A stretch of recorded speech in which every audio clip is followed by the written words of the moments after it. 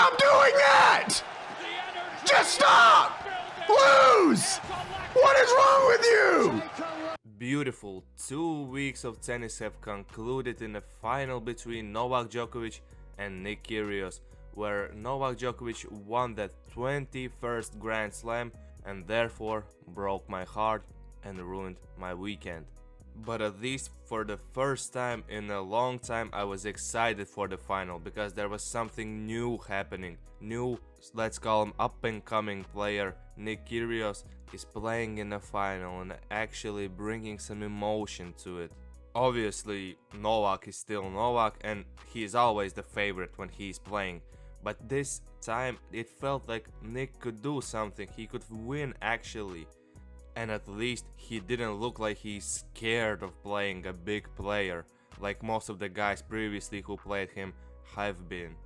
I actually think that Kyrgios winning would be better for tennis and I think it's unfortunate that he lost, because, and I want to preface it, I am not hoping for the fall off of the big three in any way, shape or form and I'm definitely not trying to demoralize the new generation but at the end of the day, I just want the tennis world to shift from these constant GOAT debates that mean nothing.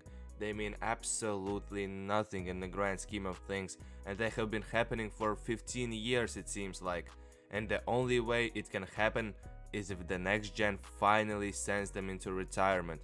But it looks like it will not happen anytime soon. One of the other things that I found amusing about this final is that people were hate watching this match. And it's funny, they just try to show their, I don't know, their stance on these players, but again, it doesn't matter. Twitter is not real and that shows when many people are congratulating Kyrgios or congratulating Novak for the win at the tournament because in the Twitter world these guys are hated but in the real world people can't separate tennis from from normal life but these dumbass bum ass stan accounts cannot do that because they cannot comprehend that a player on the court might be a bit different than he is outside of it and the post-match interviews were amazing they made me feel like this actually was fun and it was not about the legacy or something else. Players looked like they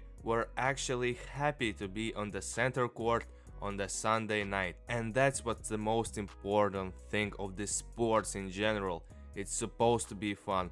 It's supposed to bring people together. And I highly doubt that anyone who was in the stands on the center court was disappointed with how the match went.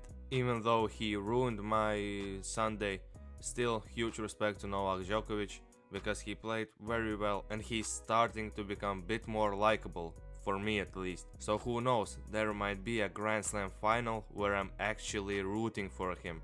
But for now, I'ma go have 700 drinks bro, and I will drown my pain. But you, the viewer, just take it easy my friend.